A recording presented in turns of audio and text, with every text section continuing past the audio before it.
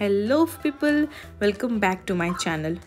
आज हम बात करेंगे कि पैसे कैसे बचाए। आजकल हमारे खर्चे ज़्यादा हो गए हैं और बचत कुछ भी नहीं हो रही।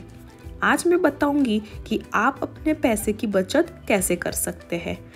फर्स्टली आपको ऐसे तीन पिगी बैंक ला के रखने हैं।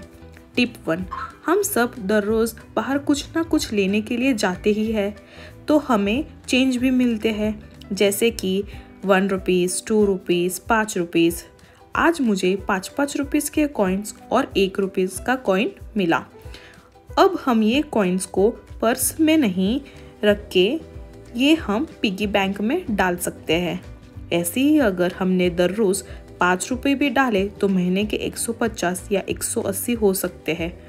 और सालाना 2000 से 3000 टिप टू दूसरी पिगी बैंक में हम दर रोज़ बीस या पचास रुपये डालेंगे।